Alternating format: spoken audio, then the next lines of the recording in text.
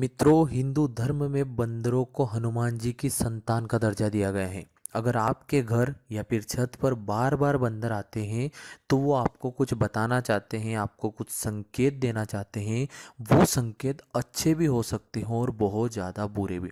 तो आइए वेदों के अनुसार, पुराणों के अनुसार और शास्त्रों के अनुसार जानने की कोशिश करते हैं कि बंदर हमें क्या संकेत देना चाहते हैं।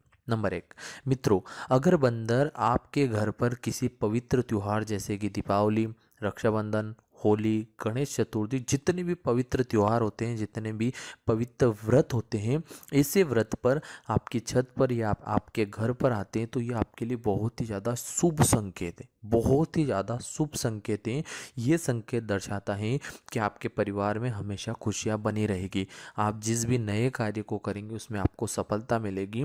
आपके घर के अंदर कभी भी ग्रह कलेश नहीं होगा।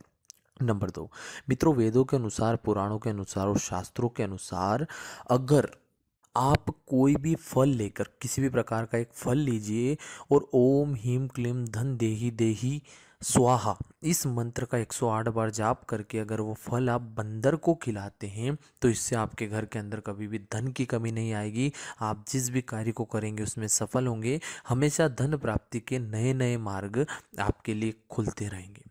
नंबर तीन, शास्त्रों की अगर मैं मानूँ और वेदों की अगर मैं मानूँ तो मित्रों, कभी भी गर्भवती महिला को बंदर का मोह नहीं देखना चाहिए। क्योंकि ऐसा ऐसा करने पर आपकी जो होने वाली संतान है, उसके अंदर बंदरों जैसे लक्षण उत्पन्न होते तो कभी भी भूल से भी गर्भवती महिलाएँ बंदर का मुख ना देखें।